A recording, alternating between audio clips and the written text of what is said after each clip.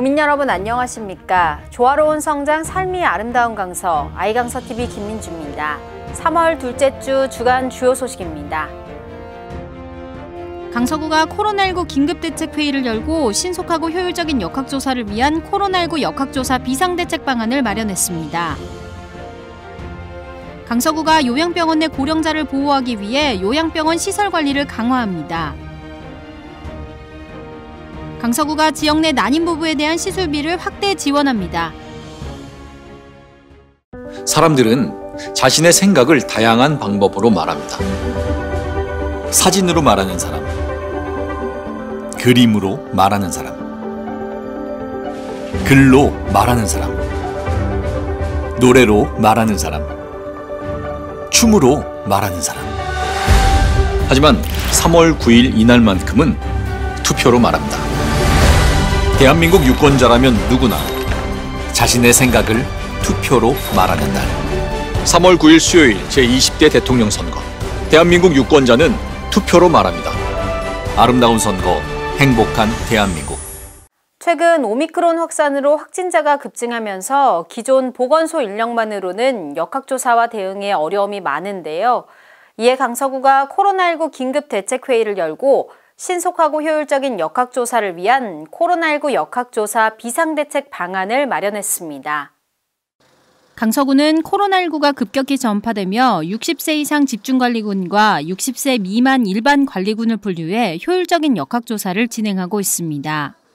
이에 따라 신규 확진자 수가 1000명 이상일 경우 60세 이상 집중관리군은 보건소에서 60세 미만 관리군은 구청 전부서에서 역학조사를 담당하게 됩니다. 구청 전부서에서는 일반 관리군에 해당하는 확진자가 입력한 자기 기입식 기초 역학조사 내용을 확인하고 필요한 내용을 추가 조사하는 역할을 맡습니다. 또 자기 기입식 기초 역학조사를 등록하지 않은 확진자를 대상으로 직접 유선 전화로 추가 조사를 실시하고 그 내용을 질병관리청 시스템에 입력하는 업무도 수행합니다.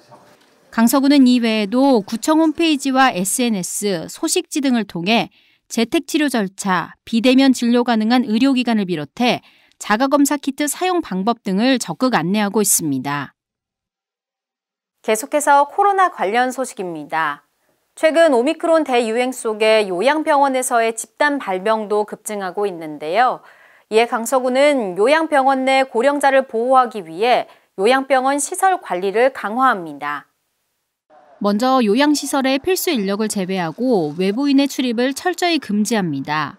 필수 외래 진료 외에는 외박과 외출을 금지하고 요양시설 종사자 전원에게 다중이용시설 이용을 금지할 것을 강력 권고합니다. 또 모든 신규 입원 환자에 대해 입원 시 PCR 검사 2회와 일정 기간 격리를 실시해 오미크론 감염 차단에 나설 방침입니다. 한편 강서구는 지역 내 고위험 시설에 대한 선제적인 코로나19 대응을 위해 총력을 다한다는 방침입니다.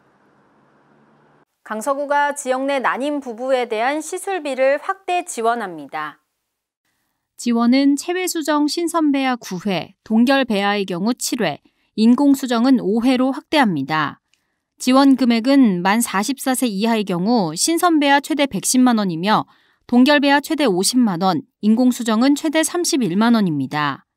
만 45세 이상의 경우 신선배아 최대 90만 원이며 동결배아 최대 40만 원, 인공수정은 최대 20만 원이 지원됩니다.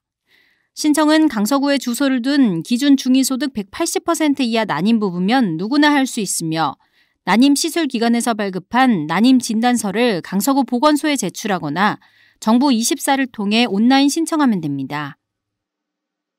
전기차 수요가 높아지면서 전기차 충전 시설 설치에 대한 관심도 높아지고 있는데요.